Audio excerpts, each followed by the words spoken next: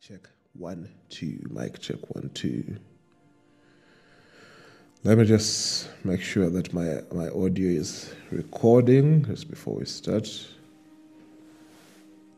Okay, that looks like it's coming in. It's perfect. Cool, cool, cool, cool, cool. How are you guys? Welcome, welcome, welcome. Welcome to today's podcast. All right, let's dive right in. Now, the world faces war uh, right at this time. The world is almost surviving an economic recession. The world faces rising sea levels that are swallowing up coastlines and villages. And at the front line of the world's toughest battles is tourism, offering a breath of fresh air.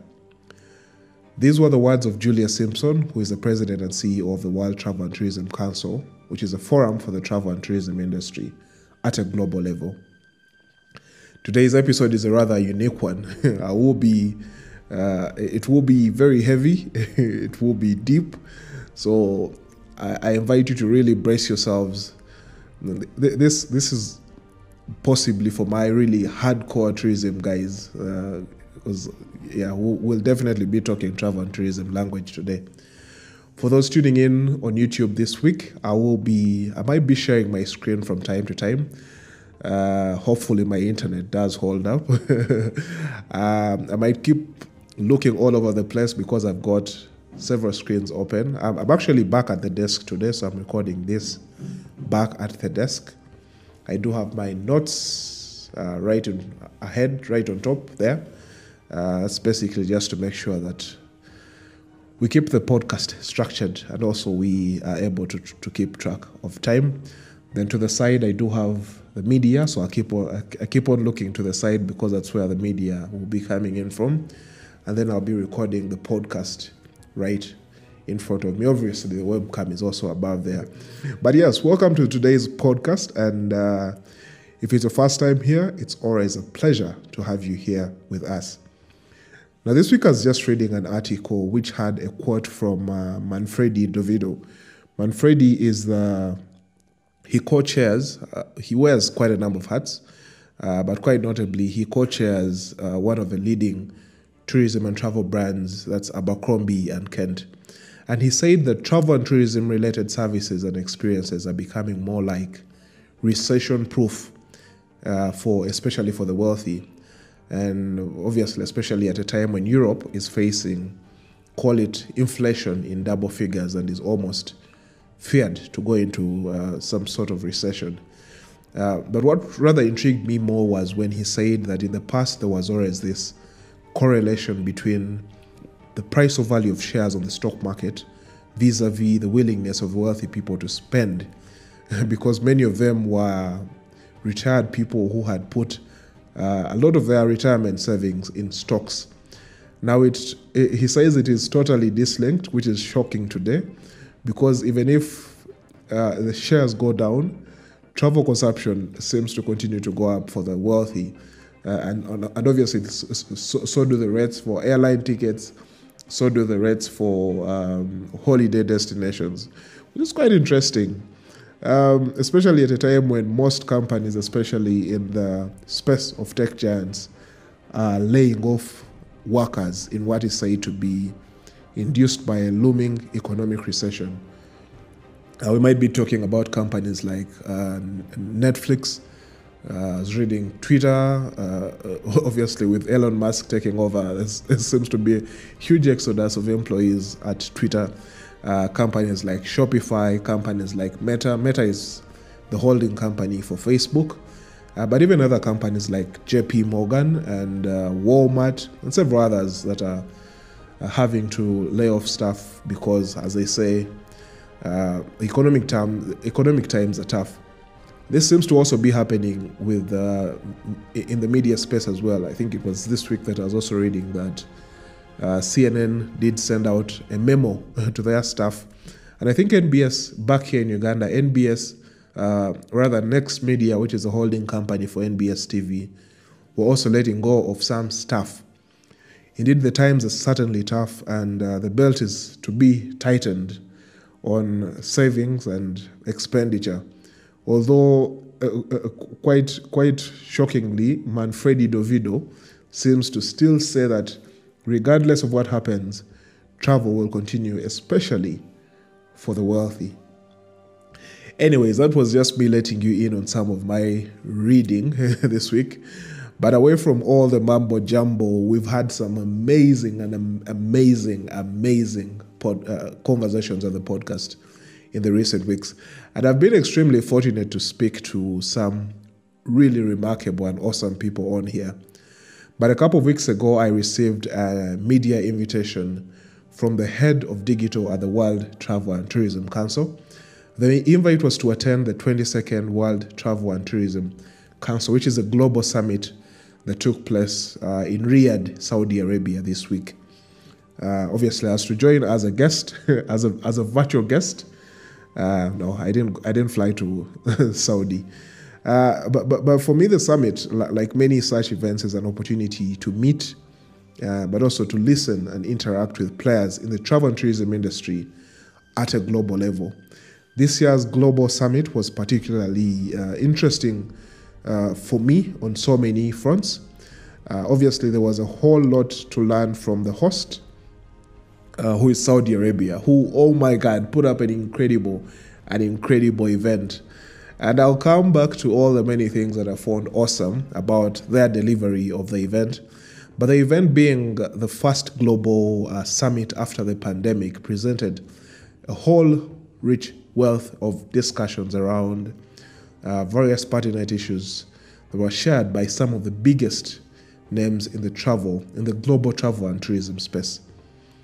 Talk of folks like uh, Zurab, uh, Zurab, who is the Secretary General of the United Nations, World Tourism Organization. Uh, at the at the summit, we had uh, Anthony Capuano, who's the CEO of Marriott International. Uh, we also had Christopher Christopher Nassetta. Uh, Nassetta is the president of Hilton International. Uh, Stephen Scherr from the Hertz Group was there. Uh, Federico Gonzalez, the CEO of the Radisson Hotels. Um, several tourism billionaire, billionaires as well, including uh, I, I did see Pansy Ho was there. Pansy Ho is a notable Canadian ch- Chinese who I believe invests largely in uh, in uh, casinos. Uh, and then obviously Manfredi d'Ovidio was there as well. Uh, he chairs the Heritage Group and also co-chairs uh, the luxury travel company Abercrombie and Kent.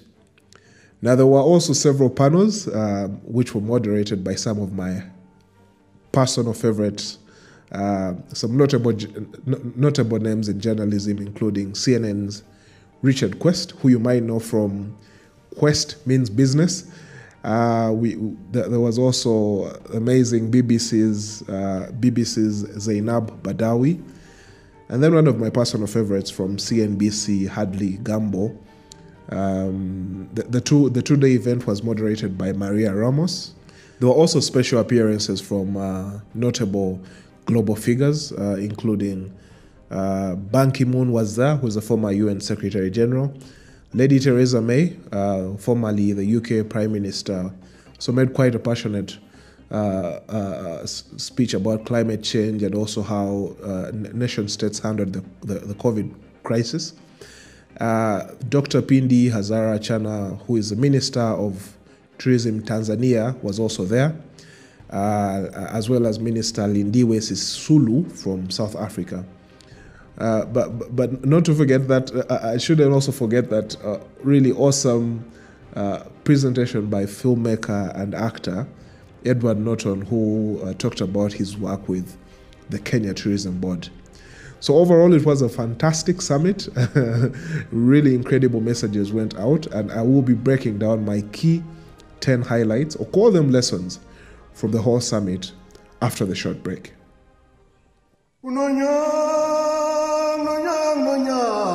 What's up, guys? Welcome to the Jonathan Benaiah podcast, a show that is wild, very wild. We try to put out a new episode every Sunday with discussions ranging around how to make the natural world a better place, creating awesome images, telling stories with words, wildlife films, and photography, with occasional musings on sound and tech.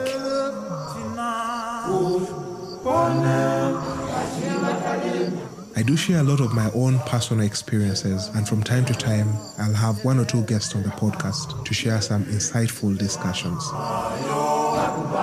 If you are fascinated about the natural world, especially natural history films and photography, environmental conservation, and African travel at large, this podcast will have you in a spin.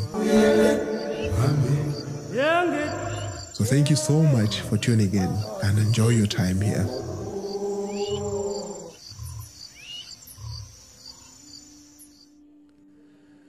All right, guys, welcome back to the Jonathan Benaiah podcast where we talk about the earth, images, wildlife films, and photography. We also do talk about travel and tourism and occasionally music. As I mentioned, we try to put out a new episode every Sunday, but due to some challenges, largely technical, last week's episode couldn't go up and has thus been rescheduled. But thank you all for tuning in for those previous episodes the metrics really show uh, that you all are enjoying, you've been enjoying these.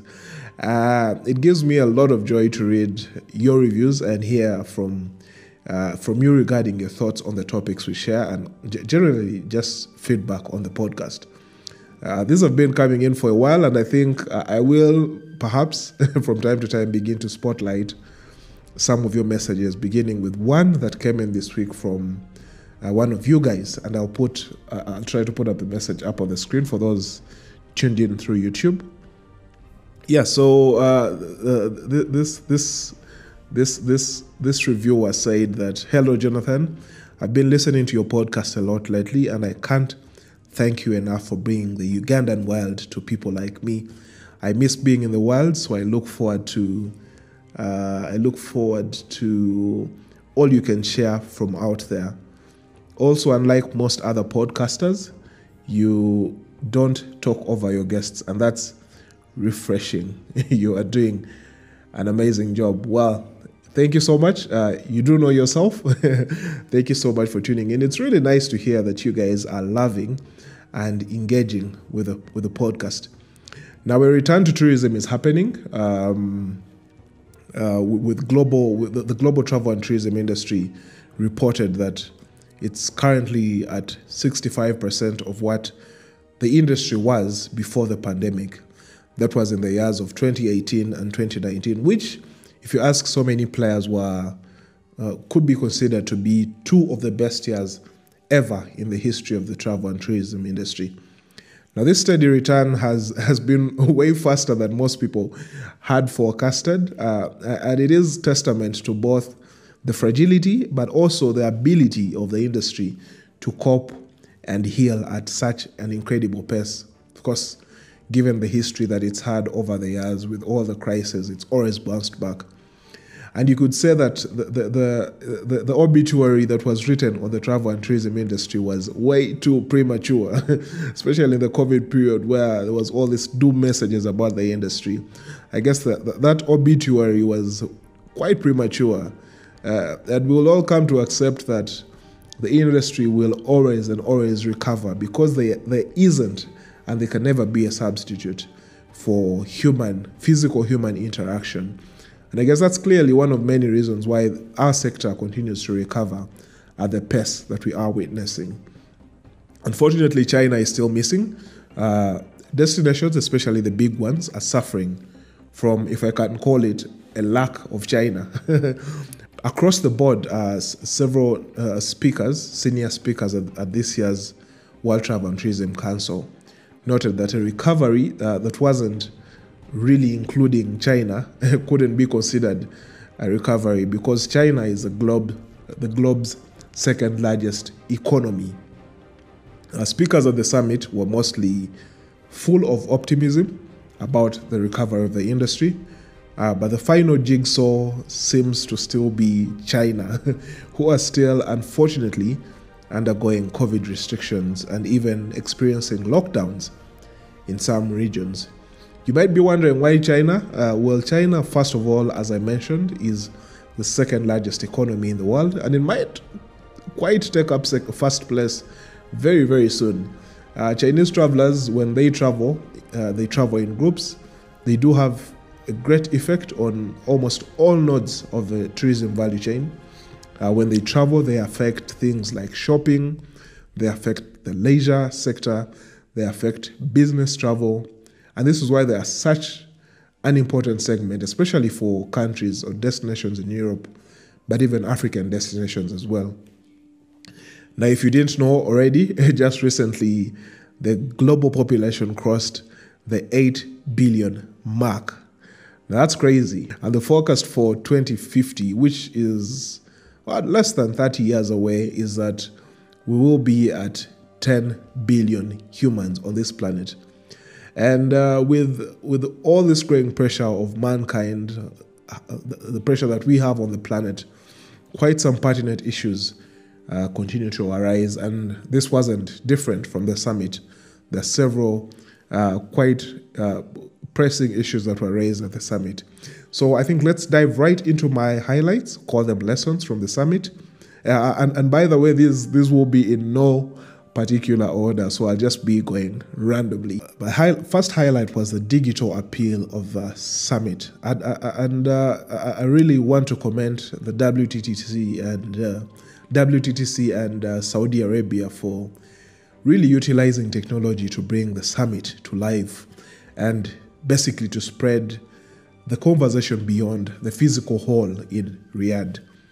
And uh, to best demonstrate this, I, I, think I'll just quickly try to share my screen for, for those tuned in through YouTube and just show you a bit of what the portal that we uh, were engaging with uh, kind of looked like. Uh, let me see if I can pull this up. Hopefully my internet will hold up. All right, so yeah, the, the, if you've been to if you've been to call them what those international expos, uh, many a time the entrance looks kind of like this. So this is what the portal uh, kind of looked like. Um, right above here, you can see several several sponsors. Uh, obviously, the beauty with this is that you can tap on any of the sponsors and you can see their teaser, or call it their their advert for Ugandan's Kalango. uh, right down here is uh, inquiry desk or reception desk for for guys coming in, and you could basically t- t- tap tap there and uh, send in a query uh, if you had that, or maybe a comment. Uh, right here, you could tap and see the events program, and you could tap here and see the speakers. But it even gets more interesting. Uh, you have the auditorium over here, which is basically where the summit was taking place, where the live broadcast, broadcast of the summit was happening. Then you do have uh, the ex- expo hall, uh, which I'll come back to in a bit. What's quite interesting. Uh, video on demand, if I if I could maybe just tap on that, is where they are going to archive all the, the, the panel discussions and basically the recordings from the summit. And of course, it's in so many. It's, it's in quite.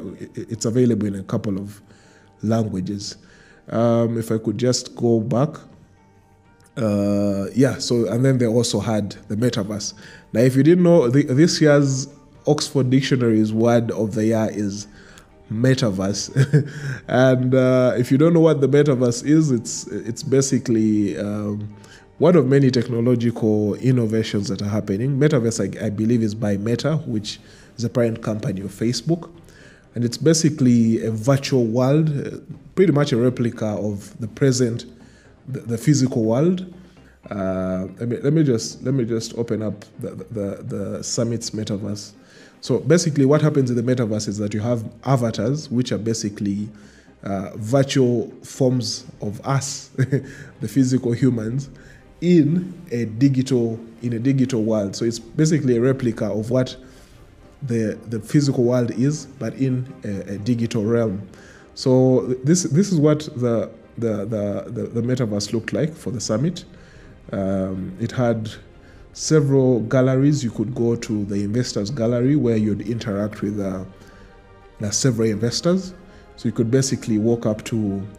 Obviously, people have left the summit. That's why you don't see any people here. But during the summit, there was a whole lot of people along this trail. So you could basically approach someone and click here and have a discussion with them or you, could uh, say things like assalamu alaikum uh, yeah being, being in be, being in saudi uh, or, or, you could just say hello Um, and uh, if you looked around, if we just maybe just moved around, you can see there are several investor boxes here which you can approach to find out uh, about investment opportunities. Yeah, so that's that's what the investors gallery pretty much looked like. If I go to the to, to the networking zone, uh, hopefully, indeed, my internet continues to be nice to me. yeah, that's fortunately it is not too bad. Yeah, so this is what the investors, rather the, the networking zone kind of looked like.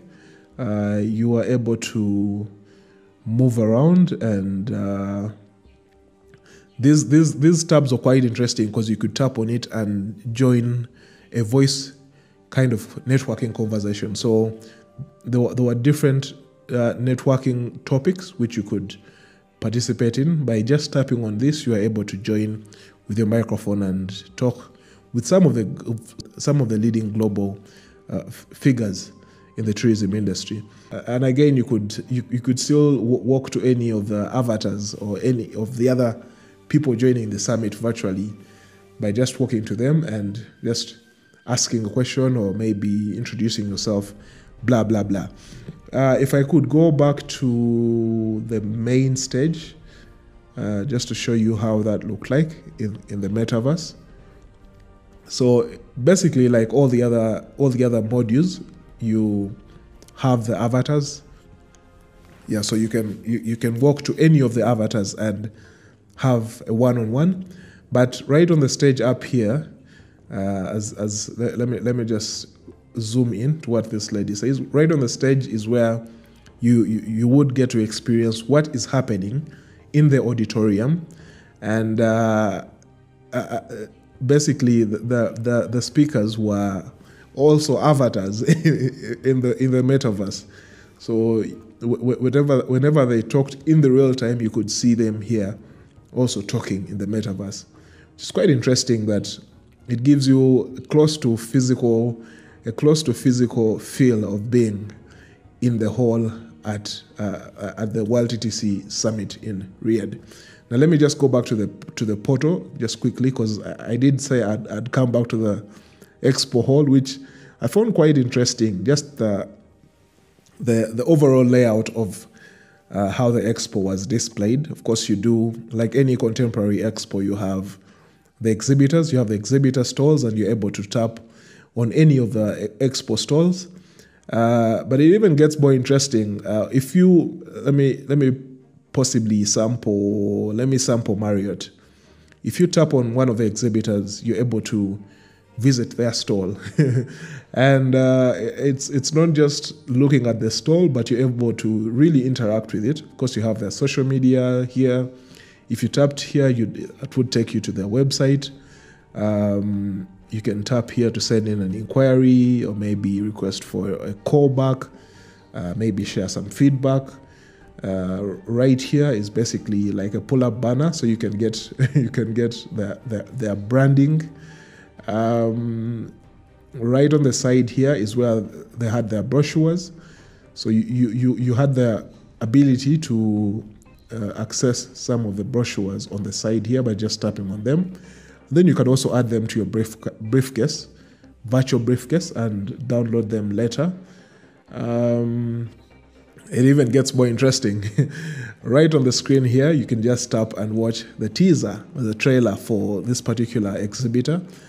And uh, finally, you also were able to drop your business card in this fishbowl and benefit from a raffle draw, but also uh, get contacts get, the business cards from the exhibit as well, which was a, a very nice way. I, I, don't think I've seen, I don't think I've really seen uh, a portal like this for an expo, and and this this just basically speaks to uh, how the digital digital uh, transformation, and digital evolution, is really um, enhancing the ability to promote the ability to market in a much better way. So, so let me just get out of the portal and let's let's get back to. Uh, it's it's let me just yeah let me activate the camera again.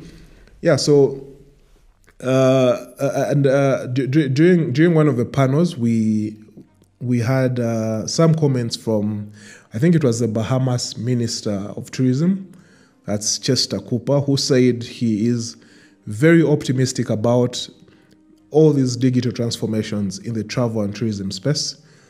But obviously, like myself, he was not necessarily optimistic about the many bureaucracies that are happening yeah, so here's just a snippet from the panel that was moderated by CNN's Eleni Giokos, in which Chester Cooper, that's Bahamas's tourism minister, did make some interesting comments. So let, let, us watch that. In terms of uh, seamlessness, there is some work to be done uh, globally. Whilst I'm very optimistic about the capability of the technology, I'm not so optimistic about eliminating the bureaucracy. So there is little harmonization government to government. We've made some progress in terms of e-passports. We'll get to the point where there's global e-visas, but even down to the harmonization on banking levels. So you might have Apple Pay or Google Pay in the USA and you may not be able to use it in the Bahamas, or you may have cash and go in the Bahamas. You may not be able to use it in, in the USA because the platforms aren't talking to each other. And I think we will get there, as we see with immigration policy, as we see with the harmonization of data protection laws, we also see with the harmonization of banking policies. The platforms simply aren't talking to each other you can use a Visa or, or a MasterCard uh, anywhere in the world and there's automatic conversion, but I believe it's only 20% of people around the world who have credit cards. I believe there's 50% who have wallets, but the wallets don't automatically convert. So I cannot go to the beach in the Bahamas if I'm spending real and buy uh, that lemonade as I, I forecasted. At least not yet, but we will get there. Indeed, we will get there. Uh, on the same panel, there was uh, Jenny Mo- Jeni Mundy, who works with Visa Global, and of course, you did hear the Bahamas minister says that. Uh, fortunately, Mastercard and Visa have made uh, made the the playing ground quite leveled, because you can basically use your Visa card almost uh, in any country. Uh, obviously, you, you, you need they call them at a po- point of sale machine uh, but, but there is also the, the ability right now to use your mobile device as a, as a digital or rather mobile uh, point of sale machine. So Jeni Mundy from Visa was there also talking about some of the work that Visa Global is doing in bringing down some of these barriers. I, I think we already have a fantastic, seamless global uh, capability yeah. there, and uh, uh, and, and, you know, you make, you make a very good point that you can use your visa anywhere. And, and I think for us, it's about trying to take more and more barriers down so that we can have this connected experience that you've so brilliantly brought to life. So, for example, how do we work with transit in, in many, many cities? And we're already in 600 cities, but how can we help people just get on a bus and use that contactless tap to pay with a brand and, a, a, and they, they trust it, they know how it works. When you get off an aeroplane and you're traveling, you want to know that things are going to work. You want to have those barriers taken down. It's like the Oyster card issue. Every time I go to London, I have to buy a new Oyster well, card. you don't need an Not Oyster anymore. card anymore. Fantastic. No, you just use your use your Visa card. You just tap a normal card, contactless, and you're on the tube. It's about time, isn't off it? To go. And 600 transit systems now around the yeah. world, and these are the things that make a, a massive change. Yeah. I mean, it seems very small, but those barriers are making making payments a properly integrated part of that experience. So it's really seamless and really connected. Um, I, I think is a vital part. Indeed, it is a vital part. Now, just moving on, uh, my second lesson, we'll call it my second highlight, as I did mention in my intro, is that Saudi Arabia really put up an awesome, awesome event. And I, I must appreciate their general ownership of this particular event and basically how they communicated their many investment opportunities really stood out for me. It was done in a very uh, tactical, a very creative, a very effective way. Uh, it was only just three years ago that Saudi Arabia uh, pretty much opened up its arms and its doors to the world when they launched their very first tourist visa. And they've just added a transit visa just recently, which uh, I guess, is aimed at facilitating more of that transit travel, especially uh, given that they are trying to develop this Red Sea cruises. There's several cruises that are coming to the Red Sea in the Gulf state in the Middle East. So, um, with this transit visa that Saudi Arabia now has, there are, I guess, targeting some of those numbers that are coming in on these cruise ships. It might also be interesting to note that they've since made an investment of 300 billion US dollars just over these three years. Uh, and the fact that uh, they brought together some of the greatest minds in tech, travel, innovation, and basically some of the leading names on the tourism space to help them develop this tourism industry is, is quite mind boggling. Uh, they, they, are building a futuristic destination, which they say by 2030, 2030 is going to be the top destination in the world, and it is valued. That investment is valued at about six trillion US dollars. I might also note that as a result of the summit, just the summit alone, they were able to attract a total of 10.5 billion US dollars worth of new investments in Saudi Arabia. And this was from the members of the, the World Travel and Tourism Council. And this partly speaks to the value of bringing such events to a destination. I guess if, if you work in the tourism sector, you do hear a lot about this uh, discussion on developing the MICE sector. MICE, for those that don't know, is an acronym for meetings, incentives, conferences, and events. Yeah, so uh, there is a, this discussion about the need to attract more and more and more events because with, with, with these events come investment opportunities, with these events become with these events come uh, this foreign exchange and basically this trickle down effect that pretty much impacts on all these other sectors. When people visit, they book hotels, they pay for cabs, they, they eat food, and, and this basically has a cross cutting effect on the whole economy. Um, yeah, talk talk about events like World Cup that is happening in Qatar. Quite a big investment that was made by Qatar to to to to to, to uh, organize World Cup. Uh, but in the long run, it's definitely going to pay off uh, in, in dividends for them. Talk about things like the Grand Prix. That's a Formula One that the Arab world continues to attract, with a grand finale happening in Abu Dhabi every year. Uh, these are all targeted and curated steps that the Arab world is doing to attract more and more investment, more and more business travel and they are quickly becoming a travel hub with their airlines that are uh, flying through the region. You have a travel hub at Dubai, DXB. You have a travel hub, tra- travel, not a travel, a travel hub at Doha in Qatar, um, and and and this I feel like is just going to get better. What rather stood out for me uh, in the many developments and the many investments that they've got going on is this thing called NEOM. Uh, now, if you've not heard, uh, NEOM to me sounds quite impossible, but I'm most certainly confident that the Arab world, of all places, is, I guess, best positioned to deliver such a project that is insane. uh, you know, ha- having seen how transformative Gulf states, or call them these uh, these Middle East countries, it's including Qatar, UAE, and Saudi Arabia are when they decide to set out to do something. They, they, they definitely do it. And I have no doubts whatsoever that uh, NEOM, NEOM will be implemented. Uh, but, but, let me just quickly spotlight two of uh, several investments that are going to happen in this, call it a futuristic destination called NEOM in Saudi Arabia. Uh, they're planning uh, to, to have this hinged largely on uh, technological innovation uh, but also bearing in mind several sustainable practices. And I guess one of the biggest points that they have is that they do have their people, uh, the people at the core of all the development. So it's it is meant to have a huge benefit for their populace or their, their citizens, but also for visitors that visit. So the, the first thing that I want to, the first uh, call it investment uh, plan or investment idea that they have is this thing called the line. And it's best explained in this video. So enjoy.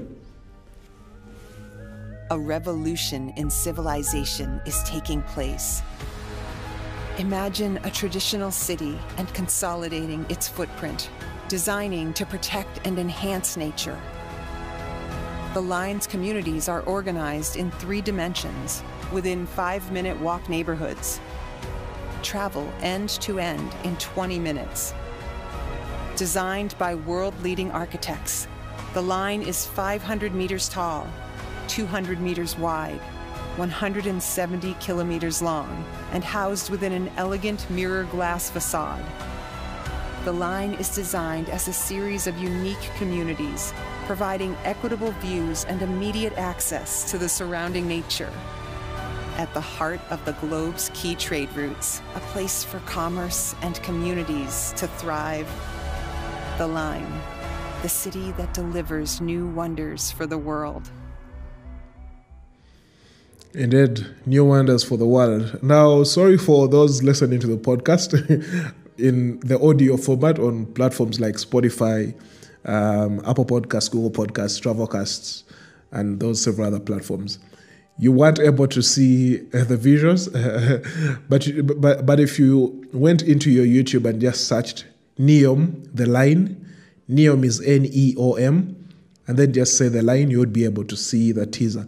Now, the other the other investment idea that I want that I also wanted to spotlight out of obviously the many that they have for this futuristic destination is one called Trojena, which is basically them um, bringing what you'd call uh, a world that you would not expect to exist in a desert. Things like bringing a, a ski destination uh, which obviously require some snow. Uh, things like building um, a, a, a, deep and, and, and wide lake to allow for people to have um, things like uh, call them what jet skis, um, several water sports. Um, and, and, and, and basically Trojena is meant to be a mountain mountain mountain destination for hikers and several other adventure related activities. So here, here's another teaser of what uh, Trojena might look like uh, in Saudi Arabia.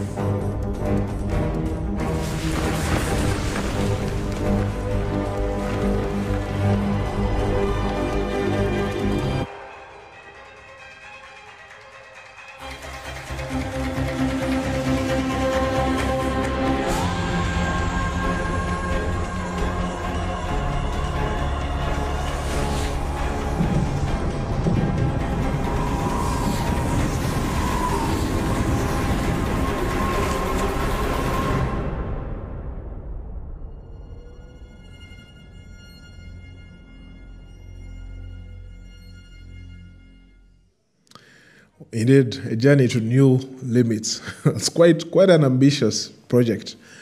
Um, yeah, just imagine all those activities in a desert. That's mind-boggling. All right, uh, l- l- let me move on to my third highlight. Uh, call call it lesson number three. Uh, was uh, during the summit they launched the first global environmental and social impact report, which is basically the first of its kind to exist, which shows that uh, with this report we can now not only com- compare greenhouse emissions, uh, but also be able to uh, measure the, the things like water consumption, things like energy use, uh, not just at a, at a destination level, but at a, at, at, at a macro level, call it the gro- global level, which I guess is the first report of its kind that uh, measures the magnitude of the impact of the tourism industry at such uh, a global level. Uh, yeah, so that was something that stood out for me as well, that new report, and I'd be looking forward to reading more in the future of uh, what impact the tourism industry continues to, continues to have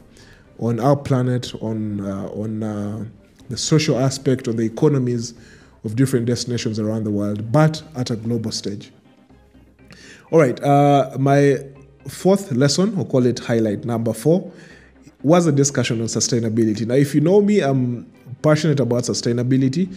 Uh, of course, having having having gone through um, a, a, training course on sustainability, but also just one who is really uh, passionate about uh, development that benefits the, the, the, the, local people, development that uh, does not negatively impact on the environment. And uh, sustainability has become a big, big discussion on the global stage. Uh, but it, but it does it does make me cringe sometimes, especially when it is used as a buzzword by so many players in the tourism industry. Many people throw it around, but they don't necessarily understand what it means. I talk of people who say that. Uh, if I could just give an example of people who run eco lodges and they keep on saying that we are a sustainable lodge, we are an eco lodge. Uh, but then uh, when, when you go into their operations, you get to find out they, they, they, they're not respecting just general basics like uh, offering or uh, invest, uh, rather employment opportunities to the locals in that destination that they're, they're, they're, they've invested in. Uh, they are not offering opportunities to, to for market to to to the local communities. As examples would be like they're not buying even the simplest of vegetables from within the community, yet the veg- vegetables are available in the communities. Um, you could also give an example of people who call themselves ecologists or maybe sustainable tour operators who are not having any contribution to conservation, no contribution to um, uh, preserving the natural world, and, and they still call themselves sustainable beats my mind. um, and that's why I say it, it, makes, it makes me quite annoyed when I hear so many people throw around ecotourism, sustainability, responsible travel without necessarily understanding what exactly it means. Now, anyway, just to go back to the summit, when this discussion came up, um, there were several commitments that were made by global movers in the tourism and travel space, both in the in, in the private sector but also the government officials that were at the summit. Three key messages stood out for me in light of sustainability. One being the need to provide energy, uh, sustainable energy for the tourism industry, which would then mean that every time we switch on that bulb in a hotel or in a um, safari lodge, would know that that is being powered by sustainable energy. And this also reminds me of uh, this uh, call it a revolution that is happening by vehicle manufacturers to create electric vehicles. Talk of companies like Rivian, who are making these uh, electric powered trucks. Uh, talk about Tesla, which is well known in the in the EV space. Uh, yeah, so there's all this move towards sustainable energy, uh, which was one of the big one of the three key messages that I got from the summit re- regarding sustainability. Then the, the second message was about uh, fast tracking, the need for governments to fast track innovations in uh, sustainable aviation fuel. Uh, now, as I did mention, the aviation f- industry has the biggest impact of all the players in the tourism space towards uh, the biggest contribution towards greenhouse gases. And if we are to meet the Paris commitment, uh, we need to get governments to really, governments and also fuel producers, to really com- commit to the pro- pro- production of sustainable fuel. And uh, this would mean things like innovating electric powered uh, planes or call them hydrogen powered jets. Uh, we need to encourage governments as well to really incentivize people who, who are innovating in this space of sustainable energy, sustainable aviation fuel. And then finally, the third key message that I got from this discussion on sustainability was the need to protect the world, uh, the natural world, that's the natural resources, the need to protect uh, the people, that's the local, local people in the destinations. Um, and, and obviously, that's where the discussion on local communities really comes alive. Now, I must, I just want to pick on, uh, uh, there was this panel by moderated by one of my f- favorite humans on the planet. That's Richard Quest. Uh, on the panel, there was uh, Anthony uh, Anthony Capuano, who is the CEO of Marriott International, as well as uh, Greg O'Hara, who is who works with American Express. Greg O'Hara is one interesting person that, uh, if you're listening to the podcast, I'll, I'll, I'll, I'll, I'll encourage you to look him up and just try to keep tabs with him. He he he's quite a very smart very smart fella who um, often has some very useful information to share. So let's let's just listen into the, the sustainability discussion through um, the the eyes of both Anthony Capuano, the CEO of Marriott International, and then after that we'll we'll, also hear from Greg O'Hara from the American Express. Not only for the planet, but as a business imperative, all the constituents that all of us serve, our employees, our guests, our investors, language about sustainability is no longer acceptable. Uh, ambitious goals and the ability to demonstrate meaningful progress against those goals is being demanded by every one of those constituents. And the only way we can make progress against those goals is collaboration with the public sector. So you're feeling the heat on that? I wouldn't say the heat. I think we feel the imperative. It is critical. It's critical as, as temporary residents of the planet, and it's temporary as it's it's an imperative as business leaders because everyone we serve demands it. Indeed, more and more stakeholders in the tourism industry are demanding for more responsible businesses. Talk of tourists, talk of suppliers, talk of travel agents uh, the, many of them are demanding for the people that they work with to be, uh, to rather respect these principles of sustainability and actually really practice uh, these principles. So let's just hear from Greg O'Hara from the American Express as well. I think collaboration is important, but but you you can do a lot of great sustainability projects uh, and ESG projects on your own as an investor. Uh, when we took Hertz out of bankruptcy in 2021, we became a first mover in EVs, right? And so we bought hundreds of thousands of EVs. Interestingly, Richard, those EVs rent for a higher number than the normal uh, internal combustion engines. People want them. They're willing to pay more for them. So for instance, you talked about the money. It's much easier for me to raise money for sustainability when I have examples of the fact that someone will pay more for a Tesla Model 3 or a Polestar or a right. GM or a Lucid than they will for uh, the corresponding internal combustion engine. Interesting. Now, when Greg is saying, what Greg is saying there regarding EVs, EV is an acronym for electric vehicles. Um, and what he's saying is that clients are willing to pay a premium or more for EVs, that's electric vehicles, than they were for our usual vehicles, call them vehicles that have an internal combustion, engine, which basically are the vehicles that we all drive, majority of us drive. Uh, vehicles that run on gas, or if you are in this part of the world, we call it fuel. Uh, and I, I really like that this is already happening, even in the safari space. Just yesterday, I was scrolling through Instagram, and I landed on this post by um, one lodge, or call it a camp in, in Kenya. It's called Camp Iazi. Uh, and, and, and basically, they are testing one of those Rivian trucks. And for me, although this might sound like cliche or idealistic, it is, and, and I will not be apologetic, it's going to be what clients are asking for in the future.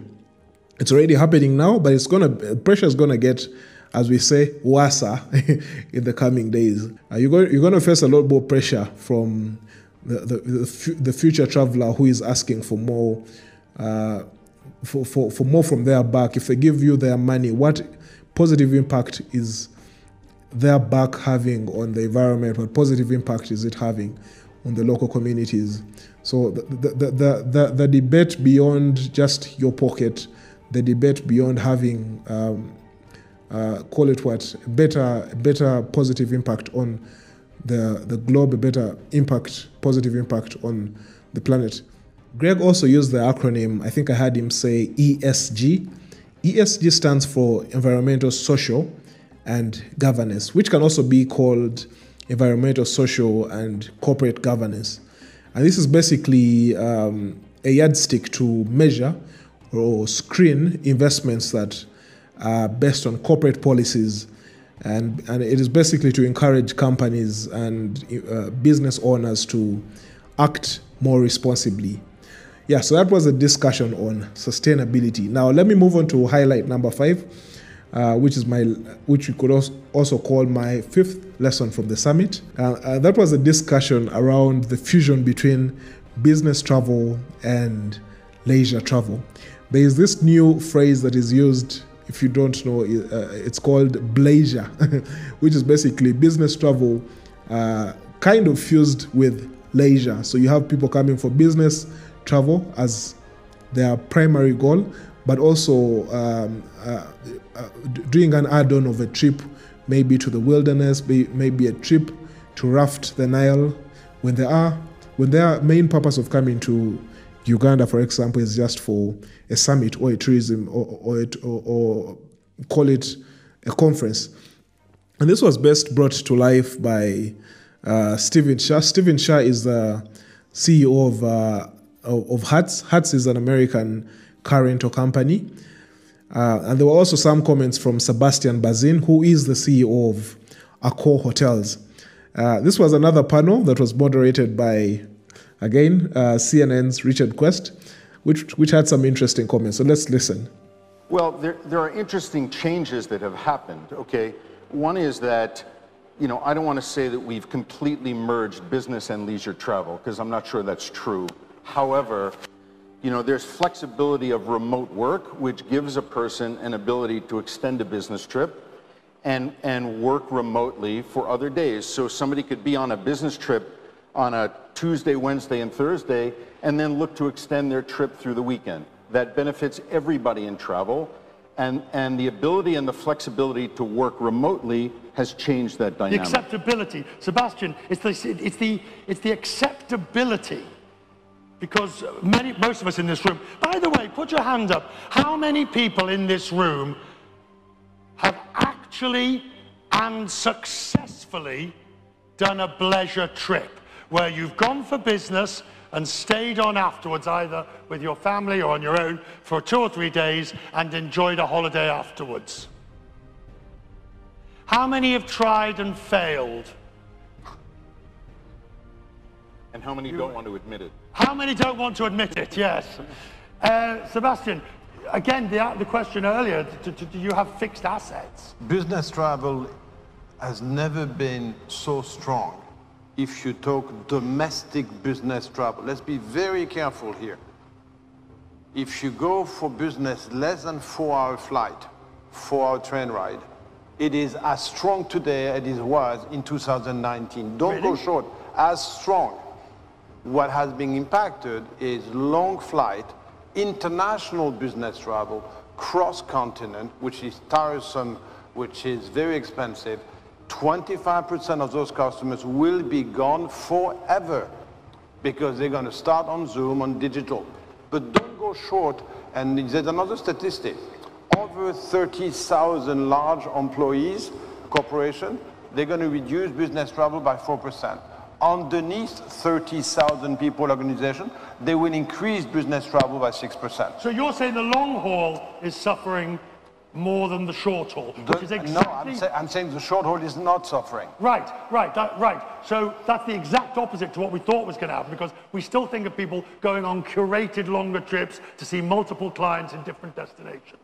You don't meet client by Zoom, for God's sake. If you want a client to sign, you need to be authentic, you need to be a person, you need to charm. Don't do it on Zoom. You're going to be unsuccessful, my dear.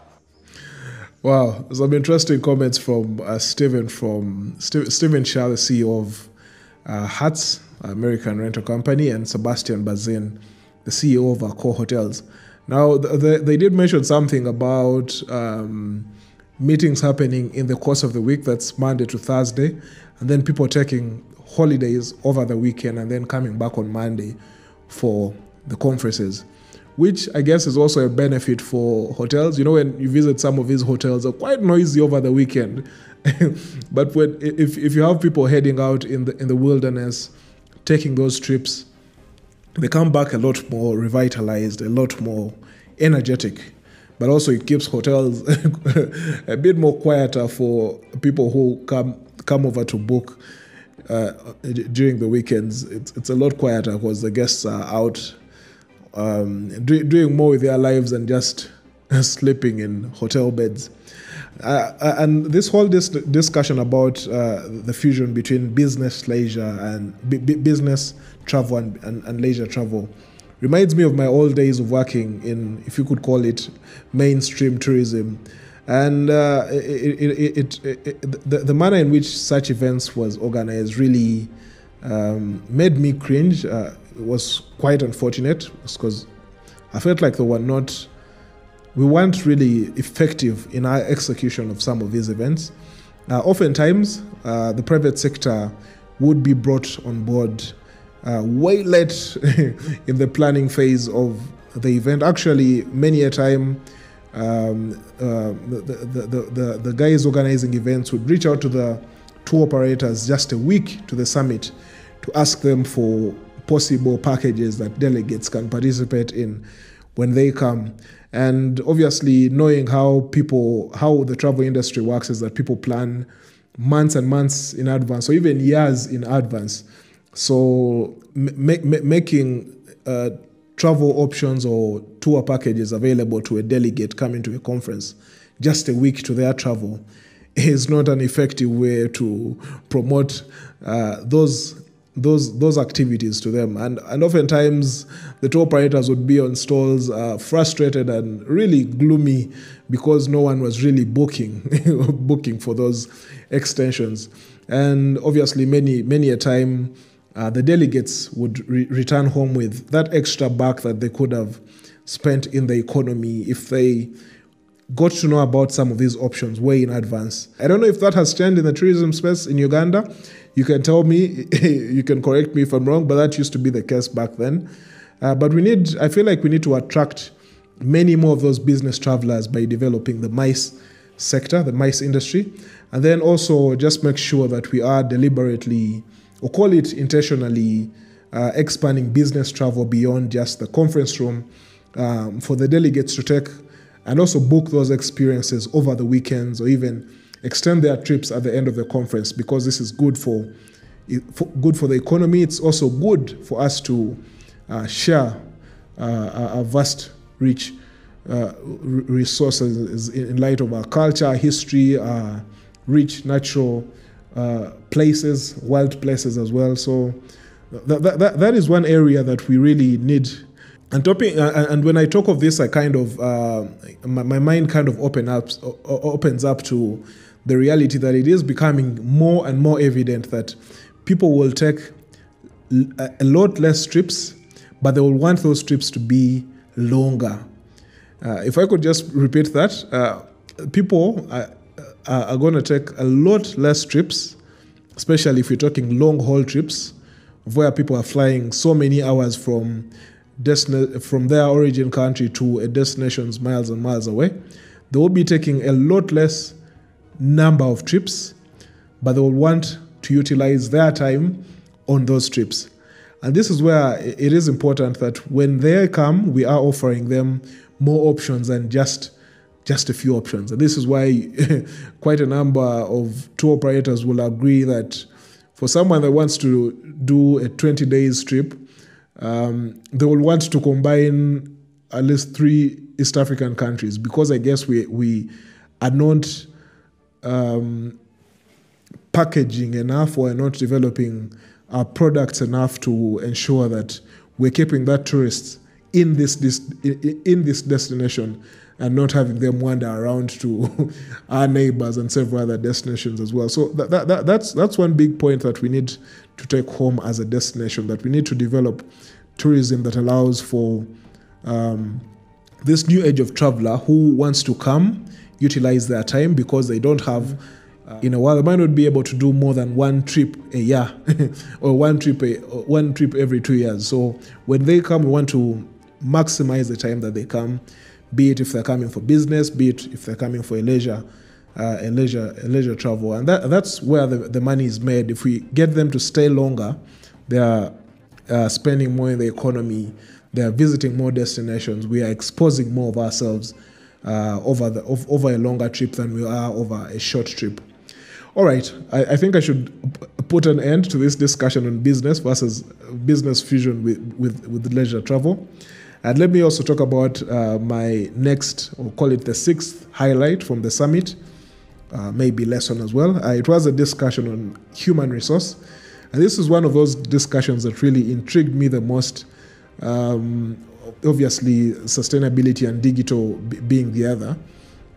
Uh, it was revealed that more and more people left uh, and also continue to leave the industry, the, the tourism industry. Basically, because of the COVID pandemic, many people were laid off. But also, over the years, the, the, the tourism industry has not paid its uh, human resource well, and we must admit, especially for people that work in the, in the hotel space. Uh, the the salaries that are paid vis-a-vis the long hours of work is is is is one place for business owners to introspect. Of course, it, it, it, the, the business owners will continue to say that the taxes are high, which is true, but I think this point this points to a need for um, both the public sector and the investors to meet and uh, forge out the best way to make working in the tourism space a lot more attractive. Otherwise, we're going to lose a lot more, a lot more of that talent, a lot more of that skill as people wander off to look for better lives. and I must repeat, we, might, we must need to talk in very practical ways uh, to solve this uh, particular problem. Now, the report by WTTC did reveal that millions of people have left the industry since the outbreak of the pandemic, including some young entrepreneurs who had invested in the tourism space.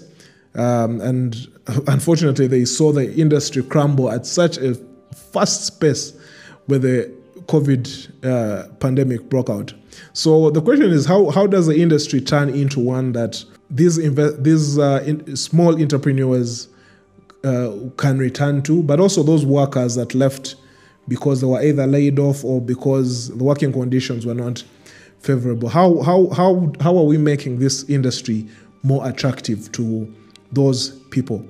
Now, you must really admit that people will not enjoy working till 4 a.m. and then be paid pennies. And this is finally expounded on by Palace Resorts Vice President, that's Gibran Chapur, during this uh, panel that was moderated by one of my personal favorites, CNBC's Hadley Gamble. I think sustainability uh, has to be a balance between three things environment, social impact and the wallet of the investor. Because everybody speaks about green initiatives, but the investor will be looking at the, at the dollar and the bottom line. So there should be this balance between all of these three factors. Um, I'm not an expert in environment, but, but I believe that we do a very heavy work on social responsibility. We have 14,000 staff members in our company and we're building projects that will employ more than 6,000 in, in, the next three years. And those two projects are one in Dominican Republic and the other one is in Turks and Caicos. And something that we're doing in Dominican Republic, because it's a very heavy employment um, hotel, more than 2,000 rooms, 4,000 staff members, is that we're building a city because there's a lack of infrastructure uh, because nowadays people get transported two hours to work and then two hours back to their homes. So imagine being a 20 year old single mom who's going to be taking care of your kids. Mm-hmm. So something important that we're doing is we're building 2,000 rooms, but we're building 2,000 apartments for the people to be able to live for free with their families. Along with these 2,000 apartments, we're building schools, parks, shopping malls, because People don't want to be just going to work and then go back home. They want to enjoy their lives. And, and, and the hotels make so much money, at least my competitors do, um, that, that we need to be able, I wouldn't say to share the wealth, but to be able to generate the wealth, to be able to pay better to our staff members. And I can tell you this investment is quite substantial. Uh, it's going to be 20% more of our investment of the hotel. But in the end, I think we're going to make up that money really quickly because we're going to have less turnover, we're going to have better staff, we're going to have happy staff, and we're going to be able to charge more. So we're going to be able to make that money back. So that's the, the way we, we see um, how resorts, how hotels, ships, and tourist companies could influence in the social uh, aspect in, in, in the destinations. And it is important to mention, and maybe it's not nice to hear, but I don't care, I, I just say it. We need to take care that tourism in world third, uh, in third world countries uh, doesn't become very profitable for the owner and then modern slavery for the employees. So we need to take that in, in account, make that balance, and in the end, you'll make, uh, you'll make more money as, yeah. a, as a company.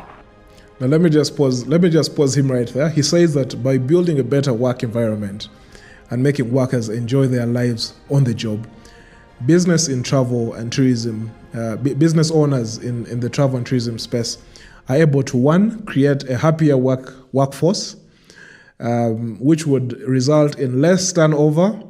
Uh, the businesses will be able to make a lot more money, and they will be able to pay their employ- employees a wage that they deserve.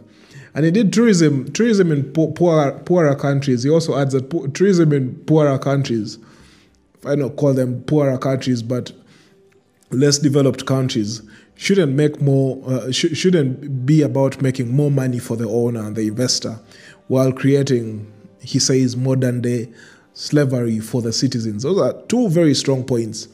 Now, G- Gibran also goes on to make another strong case for the future of inclusive tourism facilities or in- inclusive travel, uh, which which I feel is well worth listening to, especially with uh, uh, this this this looming threat of uh, recession, an economic recession that seems to be on its way, and also we we seem to be in an inflationary environment.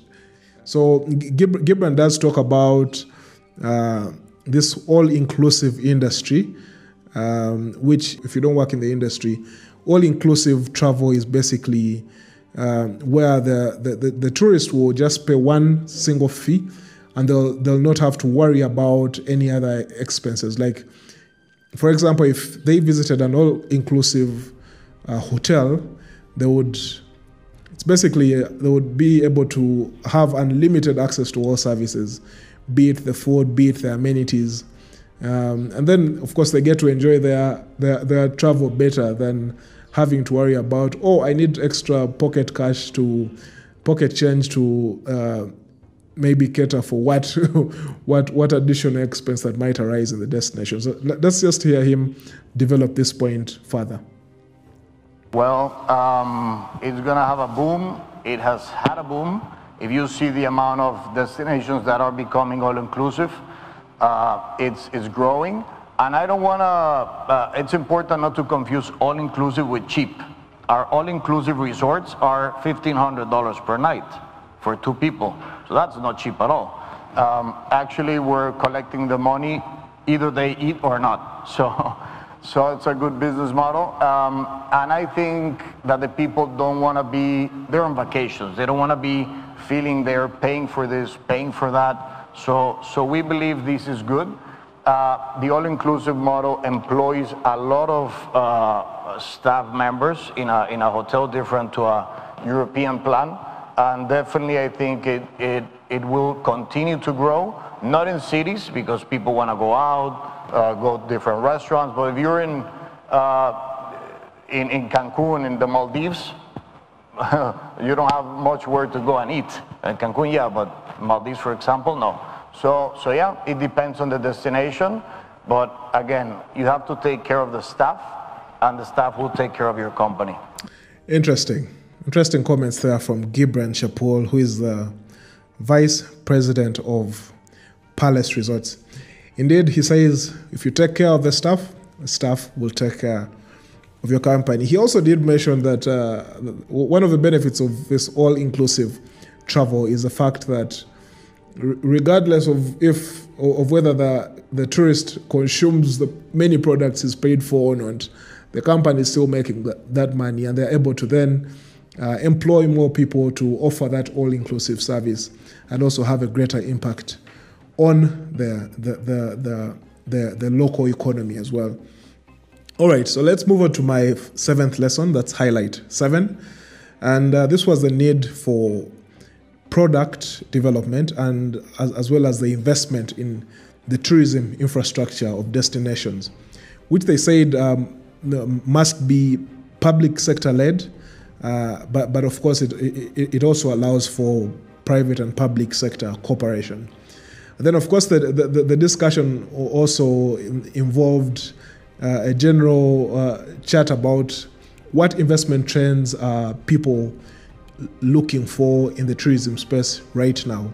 So basically, around the question of what areas are people investing in. Just 10 years ago, if you looked at GDP, people were paying more on goods than they were paying for services. But that's since flipped over. It's now about 70% of people's expenditure goes towards services, while about only 30% towards goods. Uh, and uh, of course, people are spending more on uh, things that are not tangible, things like experiences, and a lot less on tangibles, which used to be the case 10 years ago. Now, let me bring on, let, let me bring back uh, Greg O'Hara, who is the interim president of the American Express. Uh, Greg firstly presents a case for governments to the need for governments to invest in their tourism sectors. Uh, the Saudis have been absolutely committed to investing in their own tourism infrastructure. If you think about it, the world's going to change, right? You have all these developing nations who are becoming more wealthy. Where they're going to travel and how they're going to travel is going to be completely different than, than it has. Saudi's making a bet on itself, and the rest of the world has to deliver travelers. That's our job to help. Saudi makes the investment, we deliver the travelers. Yeah, that's that's a good that's a good point. Saudi and the Arab world is really investing in their tourism sector destinations that want to that really want to compete on the global stage have to invest in the in the in the tourism industry. It's no longer about how much you're getting from it. Uh, it, it, it is it is an investment like any other business, and governments need to be need to be held need to be held to account when they are talking about oh we are prioritizing the industry, oh we are prioritizing the industry. Yet not necessarily prioritizing when it comes to the budgetary allocations as well. So yeah, that's a that's a strong point when Greg talks about the need to invest in the tourism industry by uh, nation states. Now, Greg goes on to develop a point on investment opportunities. He says that the return on investment is a lot less risky and it's more attractive when it's made in things like adventure, uh, in uh, tourism products like wellness, and basically activities than it is if we're investing in public physical things. So let, let, let's let's just listen to his delivery of a point on investment areas. Well, you can call them experiences, but but what the, the consumer has is spending a higher proportion of their discretionary income on activities and experiences than they ever have. If you look at GDP, it was 60% goods 10 years ago, 20% services. Now it's 70% services and 20% goods. And there's a lot of reasons for that, but travel is the prima facie beneficiary for that. So to answer your question, where are people taking their discretionary spend?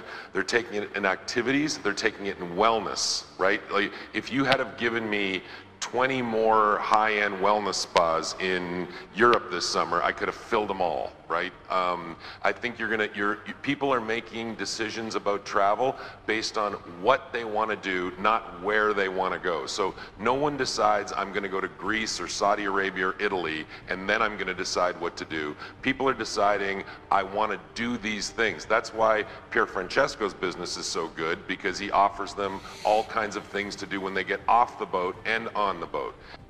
Interesting. Now, I think he, I think he meant uh, 70 versus 30 and not 70 versus 20. If I do the maths, 70 versus 20 is 90.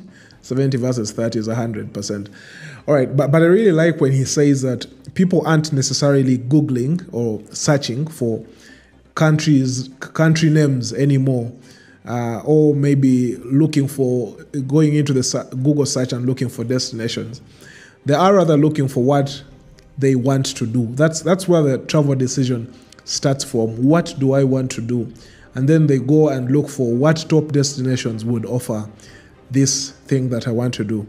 And we must admit that this this actually has been going on for a while, although he, he says it's it's just happening now. Um, as someone that works that's worked in the tourism industry for a while, I'll, I'll, I'll tell you the truth that people are first looking for what interests them or what what activity, what product they are really looking for uh, in the tourism industry, and then they go on to decide on uh, which destination is offering that particular product in the best way. And this now calls for us to develop, continually develop new uh, high value products for tourists to be able to, to book. Now, I must also mention that when Greg says uh, this thing about developing, um, investing more in experiences, the great mind that is uh, Richard Quest goes ahead to ask him about the challenge of uh, people duplicating this thing that seems to be working. You know, our sector is often culprit of creating a Me Too sector. Like basically, people who see, ah, so and so has done this and it's profitable, so let me also invest in the very same thing just down the road. Uh, and then this this basically makes the whole sector really saturated. When when Richard Quest picks on this, uh, call it the Me Too's, the Me Too industry, which is very brilliant of him to pick that out. Uh, Greg responds in a very nice way, and this is why I enjoy listening to this guy. Uh, Greg, if, if you don't know Greg uh, O'Hara, I, I, I, I want to re-echo my comment earlier. Please do look him up. Uh, he's one really interesting person to listen to when it comes to things to do with economics, things to do with trade and tourism. Uh, this guy knows his stuff. Anyways, Greg Greg says that setting up uh, that hotel, setting up a hotel like a physical structure, is often easier than building the economies around it. Um, and when we are talking about economies, economies are basically things that drive the drive the sector. Apart from the structure, the hotel um, that the investors put up, these economies that are uh, are working around it. Talk of tour guides, talk of people offering activities, talk of uh, uh, several service providers like tour operators, uh, maybe the cab, the, the, the, taxi and cab industry, building talk of things like uh, community-based organizations who are offering um, produce, be it vegetables, food, food supplies to the hotel, but also offering cultural experiences to the visitors that come to the hotel. It's it's it's more complex to build this this economy around the hotel to make this whole thing function than it is to set up a hotel. So let's hear what Greg says. The industry is brilliant at creating Me Too's. Yes. I mean, if that's worked, we'd all better have five of them, all on the same road, sure. in the same tourist destination. Yes. So, so, so I think um, the, the little things are hard to do. The getting scale in tour guides, getting scale in DMCs. It, it's easy to build easy. It's easier to build a hotel than it is for for all the the trickle down industries that need to go around the hotel. That is very hard to do. I think you're going to find that that billion dollars that you talked about gets allocated to those to to the, it'll get allocated to real estate, it'll get allocated to giga projects, it'll get allocated to all kinds of things. But I think the main hard part is going to be to allocate around the activities and wellness and wellness issues that go around those things. That's a big point. Uh, often I call them the littler or the smaller, less significant players, but they are the driving engine, the, the, the driving engine of business to all these other, all, all these other. And, and the funny thing is that the tourism industry, uh, unlike several other sectors, is one that has comprises of a very long value chain. So you have so many players, and all these players play a very vital role in making this whole um, picture come together. Anyways, let, let, let, me move on to my eighth lesson. We'll call it highlight number eight. And uh, this was a discussion on the community. And I, I know from time to time we've been hinting on people, on the local community, but there's a particular segment uh, during the, the WTTC Global Summit that was titled Community at the Core. Um, I, I, don't know if it's just me, but I feel like it's becoming more and more complicated for um, businesses to separate quality. Now, let me just explain this in a bit. Um, a, a, while back, uh, it was quite easier to differentiate business offerings based on um, you offering newer cars or higher quality vehicles for a safari. So people people would use that as a bidding or, or rather as, as, as, a, as, a, as one item, one element to use when convincing a traveler to travel with particular, uh, to, to travel with company, so and so. But that's becoming that's becoming more complicated with more people understanding uh, this cheat code called high quality. So people, many people are investing in high quality when it comes to the tangibles. Um, and, and, and, and, and this has now created a, a, a dilemma of where now the, the tourist needs to look for another yardstick for them to decide on what high quality means. And this is where important shifts to things like uh, what company what company values do you have as a tourism investor, um, and and also the discussion on what force for good are you in the destination that you you've invested in uh, which I guess we can call the new high quality. More consumers are having to choose trips less because of the price, uh, because of the price you're charging. Because in the previous times, uh, a premium, a company that was charging a premium would uh, almost automatically translate into a higher quality product. But more and more people are looking for, more and more travelers are looking for what positive impact they are able to have if they spend their dollar through your company? What impact is their dollar uh, trickling down to impact on positively impact on the environment, positively impact on the local community if they chose to book with your company? And I really liked how this point was developed by Matthew Upchurch, who is the CEO of Virtuoso. If you don't know what Virtuoso is, Virtuoso is one of the, might actually be the leading uh, booking platform for luxury travel. More consumers and travelers are starting to choose the product based on something other than the base quality that they're going to get, like values, like show me, you know, show me what you're doing that's good.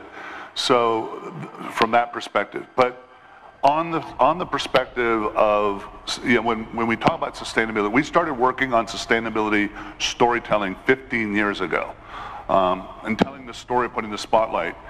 It's not just about the environment, it is about local economies. It's about the people. That's as much about sustainability. First, as a private enterprise, we thought we were really good on DEIE, DE, DEI. We've added the word, the letter B. We think that adding B to DEI is super important because that is the ultimate human goal. It's belonging. Everybody wants to belong our own employees and management team, whatever, we thought we were good at it. We have now added it as a defining objective in our playbook. Now that's interesting. He does talk about the local communities, and then he also brings in his own staff, who I guess also come from within his um, the, the, area of investment. That's a local community, and uh, he also uses uses an acronym DEIB. Uh, DEIB was previously just DEI, which stands for diversity, equity, and inclusion, but they've since added B, which is belonging. That's where I guess he was developing a point about uh, making the employees belong, or rather feel uh, like they benefit from this whole structure that you've put up as an, uh, an investor. All right, now my ninth highlight was uh, during the same panel discussion that uh, Matthew from Virtuoso was on. That, that was a panel that was moderated by CNN's Eleni Giokos. Of course, Virtuoso, as I mentioned, is a luxury is a, is a, is a luxury platform. But then there is the argument of uh, uh, not everyone is traveling for luxury, and uh, uh, the, the majority of the people, majority of the traveler, has a budget has like a budget cap to how much they're willing to pay for a particular uh, uh, trip. This is where uh, Desiree Bollier, who is the chair of uh, Value Retail Management, developed an interesting point on uh, SMEs. And this is my ninth highlight SMEs.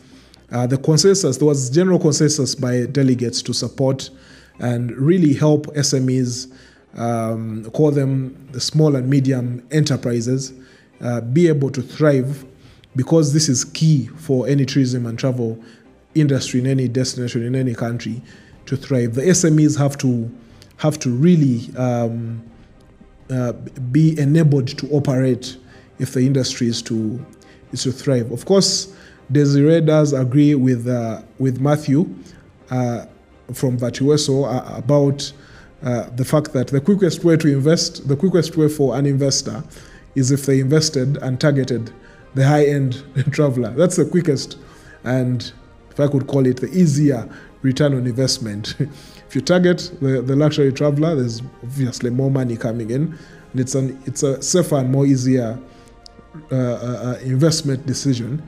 But she also adds that travel is a tool for education, and uh, she, she she brought on an element of the youth.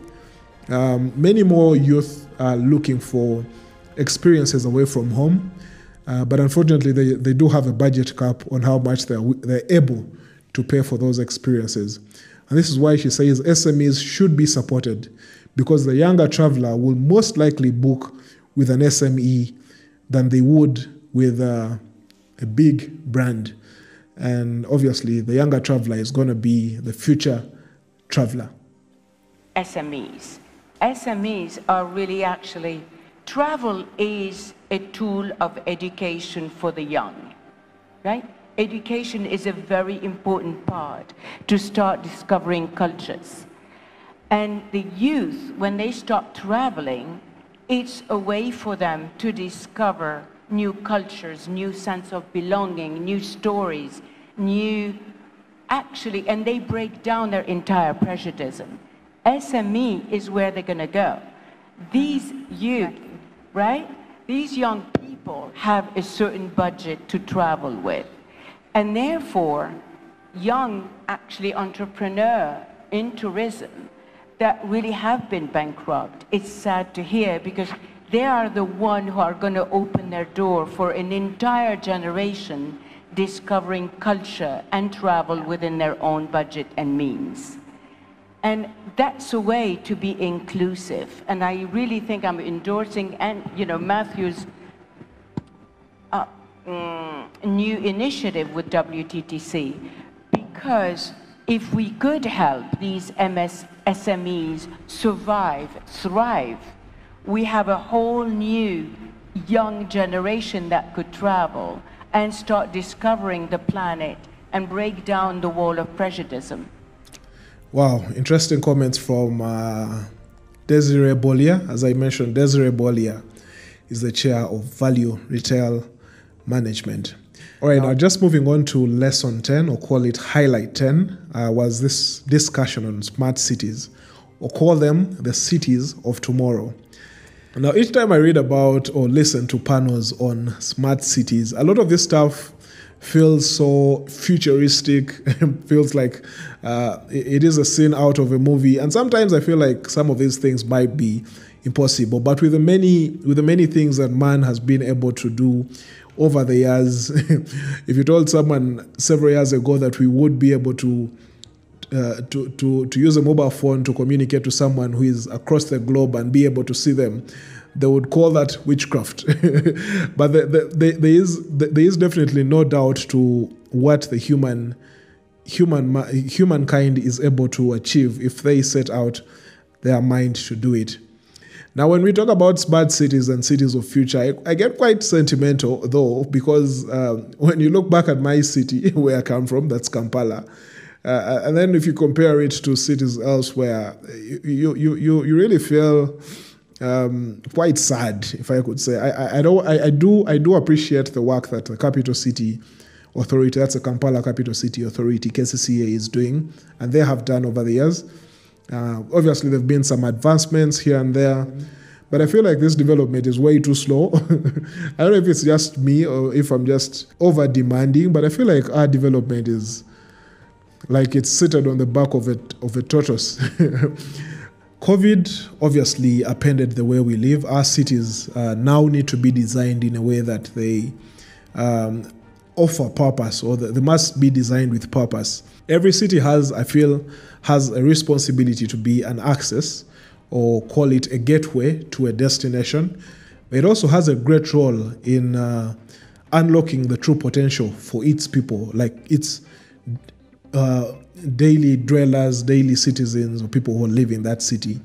And if you are looking for some inspiration of where to look, here's a bit of inspiration from um, the, the, the, chair, the chairman of the Forbes travel magazine, who, that's Jerry Inzerillo, who is also quite closely and often consulted by the Saudi, the Saudi Arabia Crown Prince uh, for the many projects that they've got going on in the country. I really like uh, his argument about uh, de developing smart cities, uh, but also preserving the heritage of those cities. They need to develop smart cities, that's very important. They need to make things smart, but also to preserve the history, the, the history of the, our cities. Um, you see, the Crown Prince has a notion. Uh, when you work closely with him, you, you realize that almost every single one of his decisions, almost every one, boils down to what's the quality of life for my people.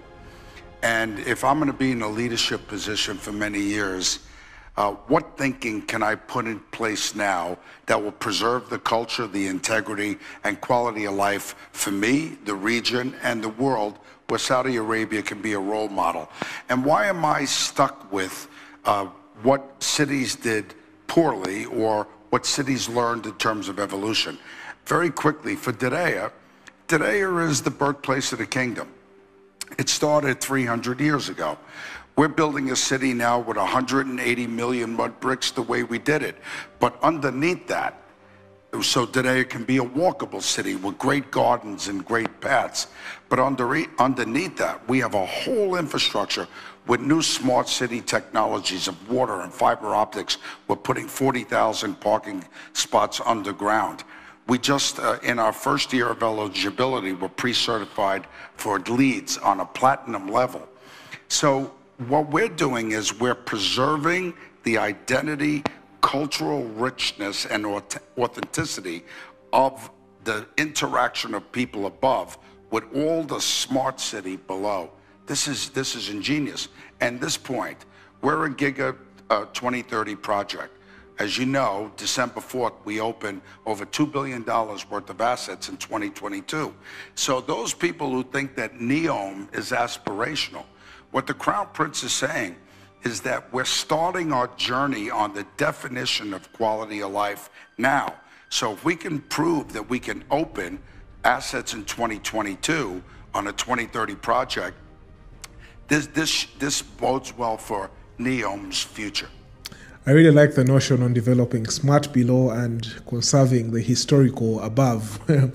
Obviously, those are big budget operations, uh, but there are great projects for other cities around the world to introspect. We don't, we, we don't necessarily have to develop at the magnitude of uh, big time investors like Saudi, but um, we, we, we, we, need, we need to learn to even just get basic things fixed. Oh, don't, don't get me started about those potholes and the poor drainage system. Anyway, for, for decency, I, I, I won't go any further when it comes to my rants on city development. Finally, perhaps one of the greater messages from speakers that uh, attended the, the, the WTTC Global Summit this year was this need for practical collaboration among nation states uh, across the board if we are to further uh, advance and, uh, and develop the travel and tourism industry in the world, we need practical collaboration. But the COVID 19 period really exposed nation states regarding their selfishness. and I'll end this episode with a quote from Manfredi d'Ovidio, who, as I did mention, is the chairman of the Heritage Group and also co chairs uh, a luxury travel company, Abercrombie and Kent. Of course, we could have seen the necessity to prepare broad capacity of producing uh, vaccines and uh, uh, because we were unprepared. And the selfishness, we were discussing with the minister, the selfishness that the world proved in the last three years is amazing. Oh, first we take, oh, we're very good at speaking, but when there's a problem, let's take care of ourselves. Mm. And so hopefully, I think that this is what will change. Less selfish. As we said, we're a global world. And, you know, if we want to, the other people, the people that are on countries which are less developed, that feel that we are in the same world, yeah. we have to be ready not to be selfish when the right moment comes. And blah, blah, blah. Uh, mm. it's, it's, it's, it's, detestable, we can say. Know? Indeed, we have to be ready to not be selfish when the right moment comes. Those are very wise words from a man who has seen and done it all. A man who has seen this great sector, the travel and tourism industry, recover from so many crises through the years. Talk of the avian flu, talk of um, the, the, the, the, the, call it what? Swine flu, talk of economic recession, talk of world war. He's seen the industry recover. And he makes a strong point regarding the need for us to be less selfish when the right moment comes for us to be, for us to really um, demonstrate this thing we call collaboration. I, I think that's a very strong point to end my lessons and highlights from the summit on, and also a very strong point to end today's podcast on.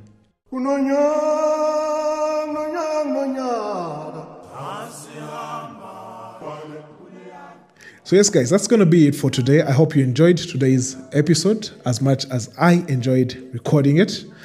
But before I sign off, I must congratulate my friends in Rwanda for winning the bid to host next year's Global Summit, uh, which actually will be the first uh, global summit by the World Travel and Tourism Council on the African continent. So it's only fitting that our host for WTTC 2023 Global Summit will be a country that has made great advancements in sustainable tourism and is now a true pioneer in the climate agenda. Our next host for the 2023 WTTC Global Summit is Rwanda. So, yes, congratulations, Rwanda, and uh, congratulations, Kigali. I, am really looking forward to being back in uh, Rwanda in 2023, at this time as a tourist. so, yes, Seth, Charles, um, Gertrude, if you are listening in, uh, please make this happen. 2023 would be great for me to come and visit Rwanda. This time, not for the meetings and conferences, but as a tourist to experience um, some of the some of the products that you guys have. All right, guys, if you enjoyed today's episode, go ahead and hit that like button. Share the link in your circles. As we always say, we need to expand this conversation beyond this platform. And then for those that just can't get enough and would like more and more of such conversations, be sure to subscribe to the podcast. The podcast, as I always say, is available on all major streaming platforms, including Apple Podcasts, Google Podcasts, Spotify, Radio Republic, Pocket Casts, and this particular episode did run on YouTube as well. All right, I'll see you in the next one.